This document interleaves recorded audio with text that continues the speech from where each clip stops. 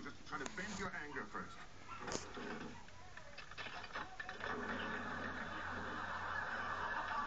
Whoa, there.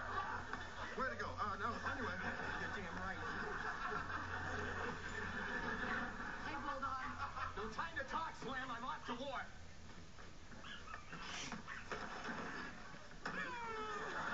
Wait for me. What was that? Bulldog's quitting. Why? Well, because Ned Miller is firing him. Who told you that? You did. That was just a rumor. You didn't tell him that, did you? Oh, I, I didn't mean to. He overheard me. Oh, God! What? I mean, come on, you guys were so positive. The expense account thing, the meeting with management at five. That meeting was to discuss taking his show national. Don't you know anything that goes on around here? Oh, Apparently not. Well, don't just stand there. Go call his secretary. She'll stop him before he gets in. Oh, I don't believe this. This is incredible. Hello,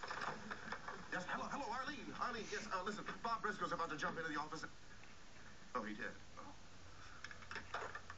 God, he's already burst into the office with Miller. Oh, God, this is a disaster. Maybe not. Maybe not. Maybe before Bulldog starts anything, Miller will tell him what the meeting was really about. Well, I, I suppose you're right. Yeah, for all we know, they may be having a, a good laugh about this right now.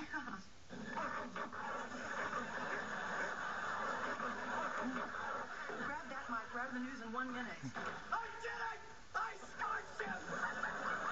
you should have seen the look on his face. Oh, I even told him about the time his wife came on to me at the Christmas party. I said there wasn't enough liquor in the world to make me sleep with that porker.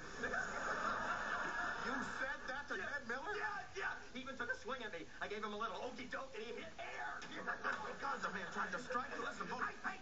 No sudden moves, Doc. I'm still too pumped. I feel like popping some. Oh,